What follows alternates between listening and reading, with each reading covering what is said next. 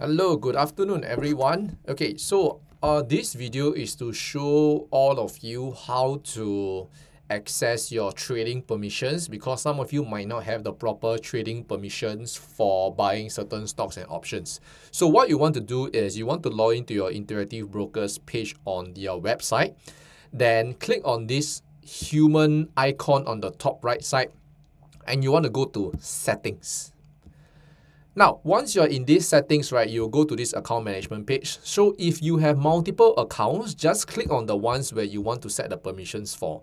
So take note that the permissions you set will be for individual accounts. So if you want it for all your accounts, make sure to set it for everything.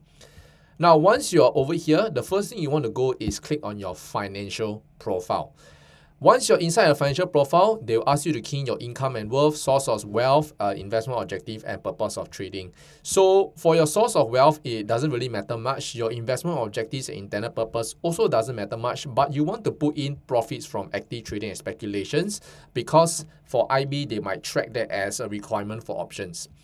The next thing is the investment experience. So what you want to do is if you haven't uh, done it yet, uh, you want to make sure that your stock knowledge, right, is extensive knowledge.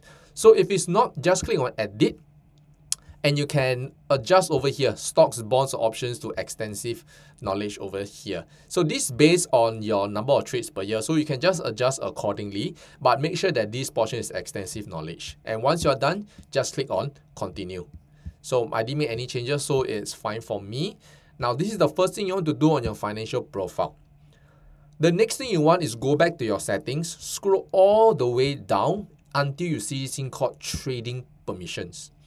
Click into it and you should see a few options over here.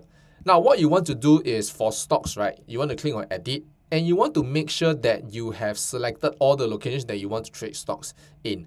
For me, I've selected Singapore just in case, and you want to select all North America just in case. So just select all of it, and then you click continue.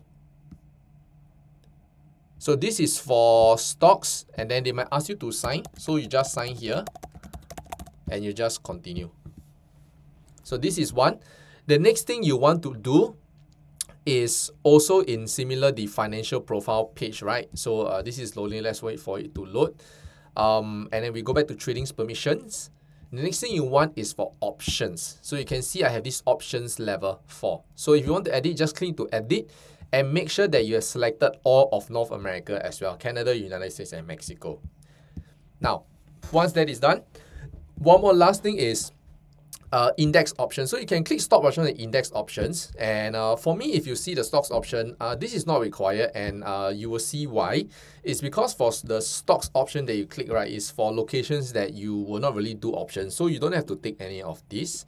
Now, if you click on the index options, Okay, similarly, you don't really have to take because this is all uh, different, is different options. So when you click on the options level 4, they have already covered it.